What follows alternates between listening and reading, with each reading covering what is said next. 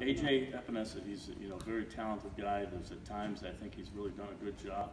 I think he's still young and, and, and understanding the position and, but, you know, we had the capability the other day to, we flipped him on the other side so he can play right and left and that's exciting to us. Um, but I think he still has a long ways to go to where, you know, I think he needs to be. What are some of those areas that you're seeing that? I just gotta be a little bit more disciplined and knowing his, you know, responsibility and understand that, you know, people are gonna change formations, they're gonna change the calls for you.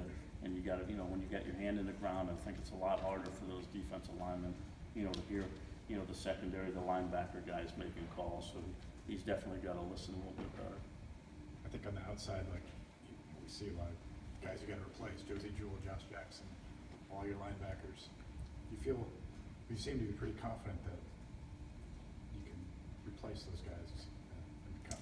how- Well, It's how always, it's always hard to, you know, replace three guys that played a lot of football here and had a lot of, you know, starts in between them. I don't know if it's like hundred and twenty some, hundred and twenty-three starts as a group of guys, and that's a lot of experience out there for those guys, so that, that's always a challenge.